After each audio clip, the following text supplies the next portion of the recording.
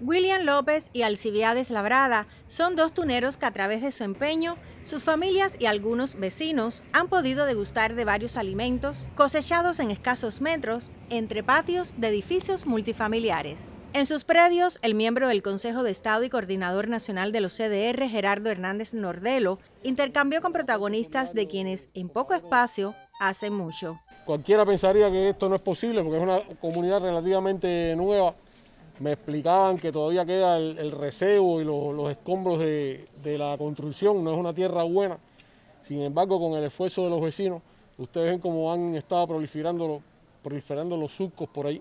En la carretera hacia el Cornito, Osmar Montero Gutiérrez reproduce plantas frutales por esquejes para contribuir fundamentalmente al fomento de parcelas y patios. Esto es un poquito del esfuerzo de todos, que es en definitiva el llamado que, hizo nuestro presidente Díaz Canel y demás autoridades de nuestro país que nos llamaron a producir alimentos.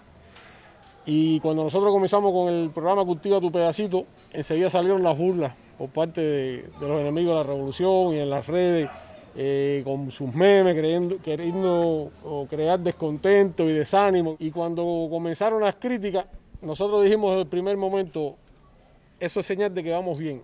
El héroe de la República de Cuba departió fraternalmente con cederistas del reparto Camilo Cienfuegos de la ciudad capital. Damaris Amores Canel, LTV Noticias.